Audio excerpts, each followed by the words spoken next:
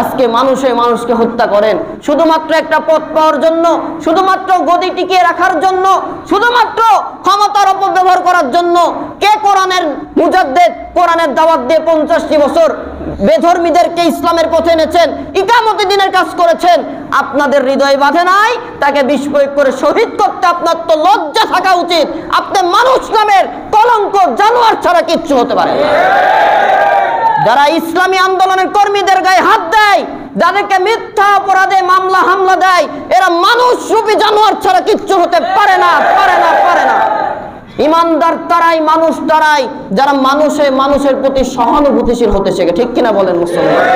সম্মানিত উপস্থিতি, আদর্শ নেতার কাছে আসবেন, আমি আগেই বলেছি আপনি জেলে যাবেন, আপনার সম্পদ পাহারা দেবে ইসলামী আন্দোলনের কর্মীরা। আলহামদুলিল্লাহ বলেন। আল্লাহ নবী বললেন, ও আয়েশা, ওই জামানায় যেহেতু নবী ইসলামের দাওয়াত দিতে গিয়ে, ইসলামী সমাজ বিনির্মাণ করতে গিয়ে তাকে গালিগালাজ করা হয়েছে, মায়ের খাইতে হয়েছে, এই জামানায় বিশ্ব বরেণ্য ইসলামী আন্দোলনের নেতারা, যারা বাতিলের সামনে মাথা নত করে নাই, ফাঁসির রশিকে শাহাদতি তামান্না নজরানা হিসেবে গলায় বরণ করে শহীদ হয়েছে। এই রকম চিন্তা আমাদেরকেও করে চলতে হবে তাহলে এই আদর্শের ভিতরে থাকলে আল্লাহ তালা জীবনের গোনা মাফ করে জান্নাতি করে দিবেন সুবাহান আল্লাহ বলেন। রাজি আসি তো তাদের সাথে থাকতে ইনশাল্লাহ কারা কারা রাজি আছে একটু ডান হাত তুলে আল্লাহ দেখায় আল্লাহ কবুল করো বলেন আমিন।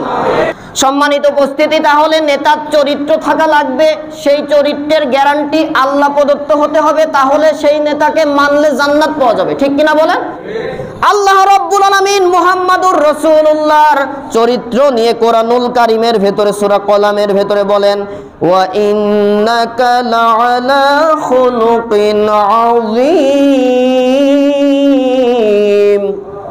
আরও জোরে। একটু জবান ছেড়ে বলেন, আল্লাহ আকবর।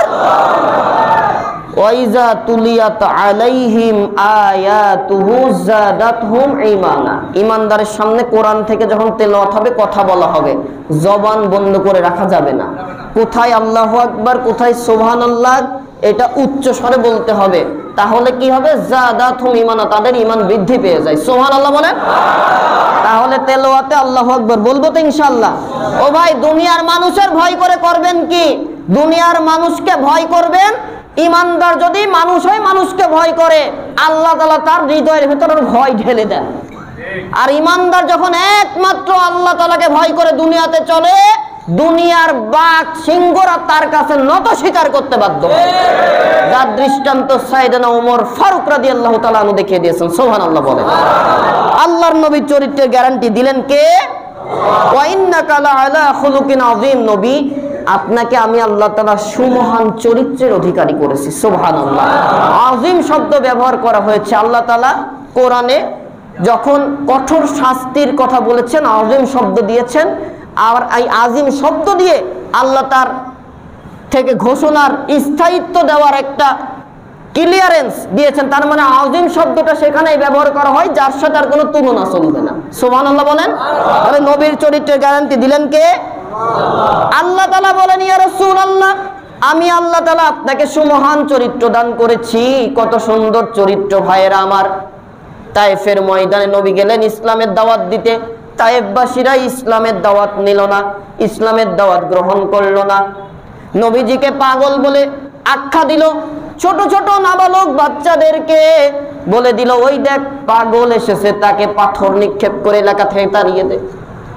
আল্লাহর নবী, বিশ্ব নবী মহান রব্বুল আলমিন যার শরীরে মশা মাসি বসাকে হারাম করেছিলেন, যার শরীরে কোনোদিন বসন্ত হয়নি।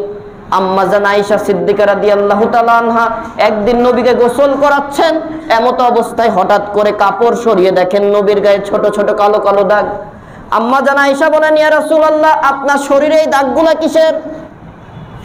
আল্লাহর নবী, বিশ্ব নবী বলেন, ও আয়েশা, এই কালো দাগের কথা আমি রসুলকে জিজ্ঞাসা করো না।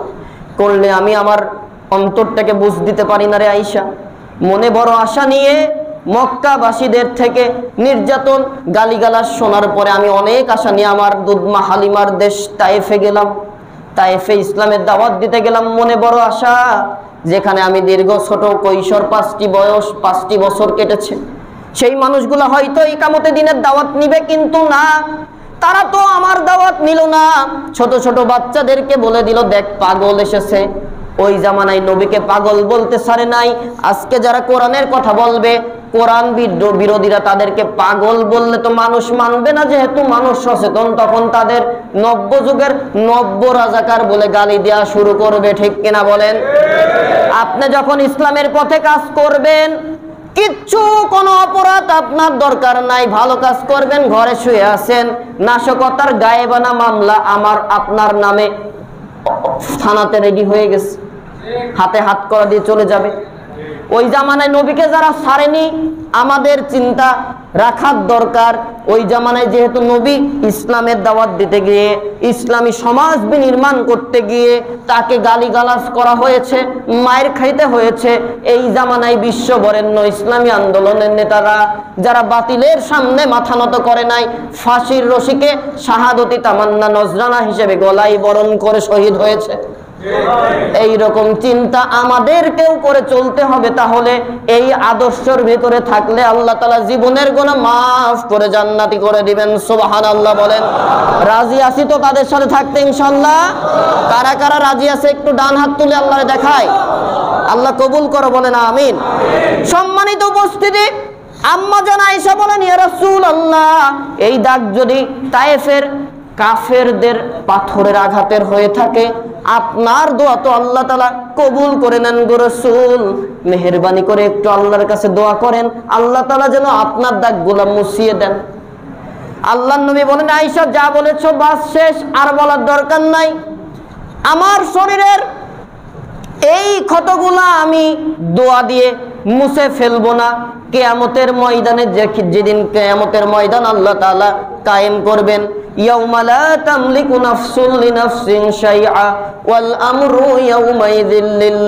এমন দিন আল্লাহ প্রত্যেক বান্দা বান্দিকে উপস্থিত করবেন। মা সন্তানকে চিনবে না।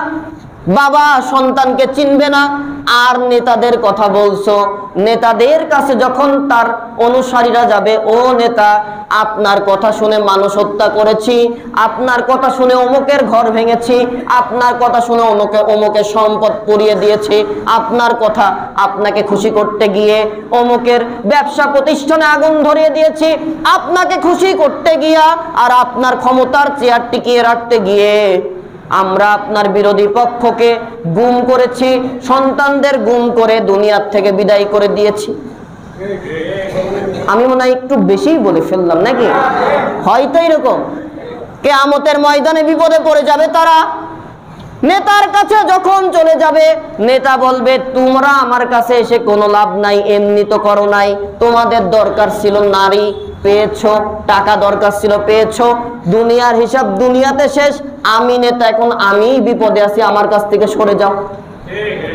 মানুষগুলা ইবলিশ শয়তানের কাছে যাবে, তোর দোষ, তোরা আমাক, তুই আমাদেরকে ওয়াসওয়াসা দিয়ে এই কাজ করেছিস। ইবলিশ শয়তান বলবে, আমাকে দোষ দিয়ে লাভ নাই, আল্লাহর কাছে চ্যালেঞ্জ নিয়েছিলাম, তোদেরকে ডাক দিয়েছিলাম, তোরা আসলি কেন? কথা কি বোঝাতে পারলাম? ইবলিশের বক্তব্য কি হবে? আমি ডাকলাম, তোরা আসলি কেন? ভাইজান, বোধ সম্পন্ন থাকলে একটু চিন্তা করেন। নেতা মানুষ হত্যা করতে বলল হত্যা করে ফেললেন আর আপনার নেতা মোহাম্মদ সাল্লা সাল্লাম বললেন, বিনা অপরাধে একটা মানুষ হয়ে মানুষকে যে হত্যা করবে, সারা পৃথিবীর মানুষ হত্যা করার শাস্তি, মানুষ হত্যা করার গোনা তার আমল নামাই দেওয়া হয়ে যায়। নাউজুবিল্লাহ। আজকে মানুষে মানুষকে হত্যা করেন, শুধুমাত্র একটা পথ পাওয়ার জন্য, শুধুমাত্র গদি টিকিয়ে রাখার জন্য, শুধুমাত্র ক্ষমতার অপব্যবহার করার জন্য, কে কোরআনের মুজাদ্দেদ, কোরআনের দাওয়াত দিয়ে পঞ্চাশটি বছর বেধর্মীদেরকে ইসলামের পথে এনেছেন, ইকামতি দিনের কাজ করেছেন, আপনাদের হৃদয় বাঁধে নাই, তাকে প্রয়োগ করে শহীদ করতে আপনার তো লজ্জা থাকা উচিত।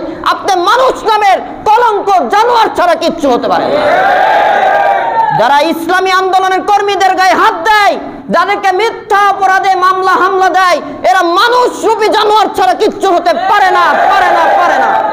ইমানদার তারাই, মানুষ তারাই, যারা মানুষে, মানুষের প্রতি সহানুভূতিশীল হতে শেখে। ঠিক কিনা বলেন মুসলমান? সম্মানিত উপস্থিতি, আদর্শ নেতার কাছে আসবেন। আমি আগেই বলেছি, আপনি জেলে যাবেন, আপনার সম্পদ পাহারা দেবে ইসলামী আন্দোলনের কর্মীরা। আলহামদুলিল্লাহ বলেন। আল্লাহ নবী বললেন, ও আয়েশা, কেয়ামতের ময়দানে আল্লাহ তারা যখন আমার পাপি তাপি উম্মতদেরকে হাজির করবেন নাজাতের ওসিলা হবে না মা, সন্তানকে অস্বীকার করবে। সন্তান মাকে অস্বীকার করবে, বাবা অস্বীকার করবে। এমত অবস্থায় আমি আল্লাহর কাছে আমার শরীরের দাগগুলা তুলে ধরবো। এক একটা দাগের বিনিময়ে আমার অসংখ্য গণিত পাপি তাপি উম্মতদের নাজাতের ফাইসালা করে জান্নাত দান করে নিব সুবহান আল্লাহ বলেন। এই তায়েফের জমিনে নবী গেলেন। ইসলাম প্রচার করতে গিয়ে তাকে তিনবার বেহুশ করা হলো। নবীকে বাঁচানোর জন্য নবীকে তুলে জিব্রাইল চলে আসলেন। এসে বলেন, ইয়া রাসূলুল্লাহ, এই তায়েফের কাফেরের গোষ্ঠী আপনাকে এত নির্যাতন করছে। হুজুর, তিন তিনবার বেহুশ হলেন। একটাবার আপনি অনুমতি দেন, এই কাফের বংশকে আমি জিব্রাইল আমার ছয়শো নূরের পাখা দিয়ে শেষ করে দেই।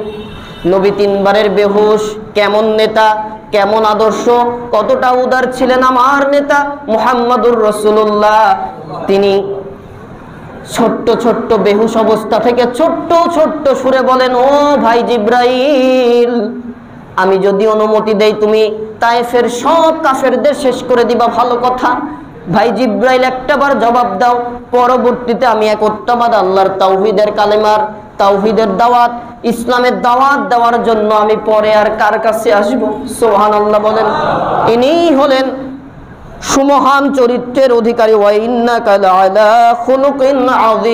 ইনি হলেন, ওমা